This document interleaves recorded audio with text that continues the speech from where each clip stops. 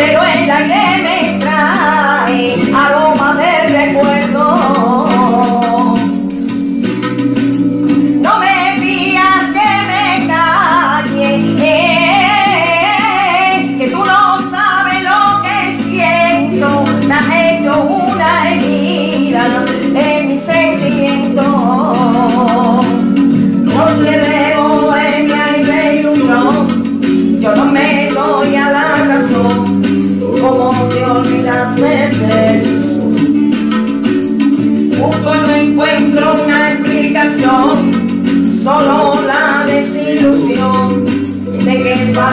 muero